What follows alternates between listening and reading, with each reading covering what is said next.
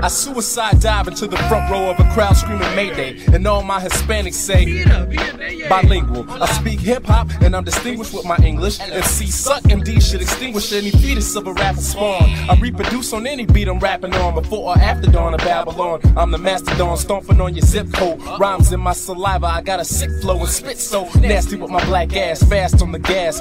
Grew up around typical blacks and white trash, so fuck the old saying you should get in where you fit in. Have you been paying attention to anything I've written? Not kidding. Comedic when I need it, but once the joke is completed, the same sense of humor always is repeated. MC's keys, I just control alt deleted.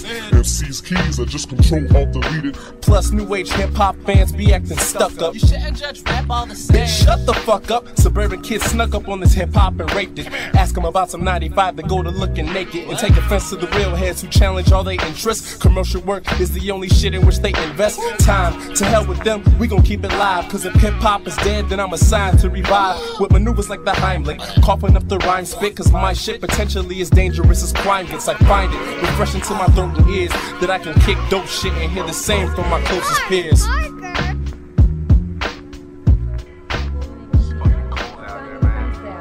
И когда вы бросаете бутылку, она разбивает